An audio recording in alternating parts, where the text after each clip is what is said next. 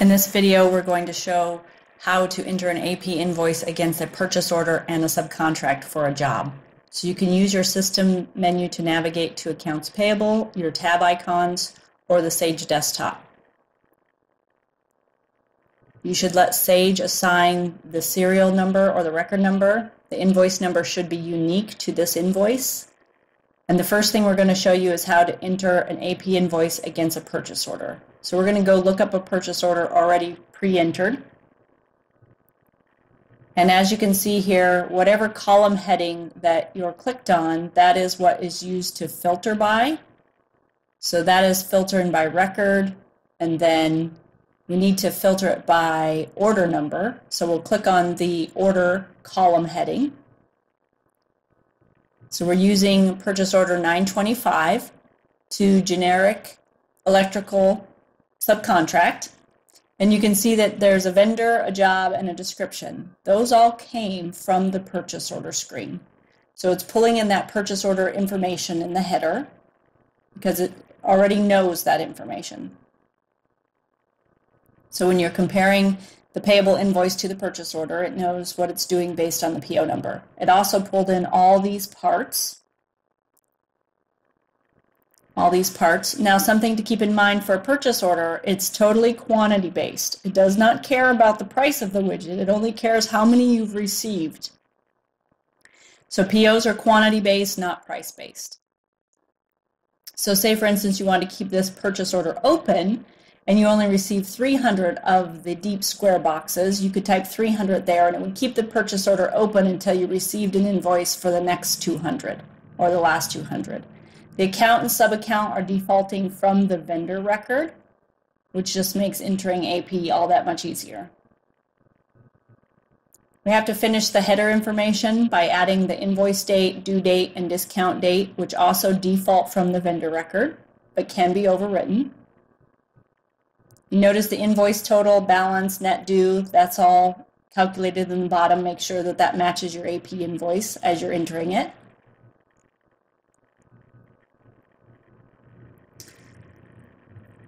If you wanted to or needed to enter use tax, you certainly could do that. So you could also attach an image of the invoice or some other uh, note that you need to keep track of by hitting the paperclip function.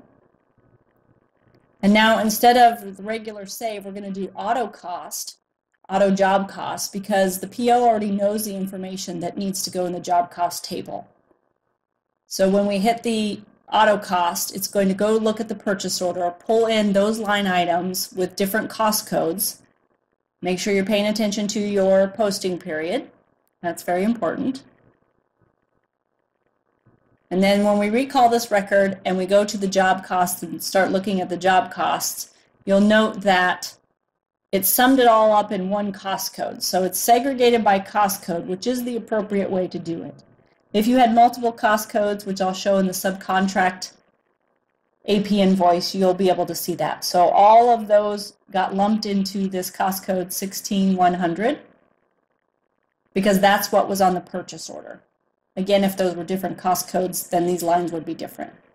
So in the job cost, it knows to put those lines to the appropriate cost code and cost type. You'll note that the cost job cost total 5237 40 cents matches the invoice total. So that's entering with a purchase order. Now let's enter an invoice for a subcontract. So again, your record number happens when you save a record. Invoice number should be unique. We can look up a subcontract that we already have pre-entered. So it pulls in the vendor information, job information, and description for you. It also pulls in the details in the table so those match. And you'll notice on this subcontract, they're actually to different cost codes. So we'll see that here in a minute. But it did pull in the appropriate information just by typing in the subcontract number. It knows it has three different items for three different amounts. Also notice the retention is 10%. Sage 100 Contractor does a nice job of keeping track of your retention for you. So the difference between a purchase order and a subcontract is subcontract is dollar based, not quantity based. It doesn't care about the quantity, it only cares about the dollars. So you have to have at least one in the quantity in order to do the math correctly. However, you know, for instance, on this one, the weekly cleanup probably hasn't happened yet. It's just the first two. So we've adjusted the price for those first two line items. And you'll notice that retention is 10%. So it took the invoice total 6,500, subtracted 10%, and it holds that in an account for later releasing. So we're going to auto cost this again because we already have that information in the subcontract. There's a couple pieces of information that we forgot to put in, the invoice date, due date, and it's going to give us a warning about the sub-account because the sample company likes the sub-account in there. So we'll add the sub-account, auto cost, make sure you're in the right posting period, recall, and when you look at the job cost, this time there were two cost codes that we put money to. So you can see those broke out just like they are in the payable invoice.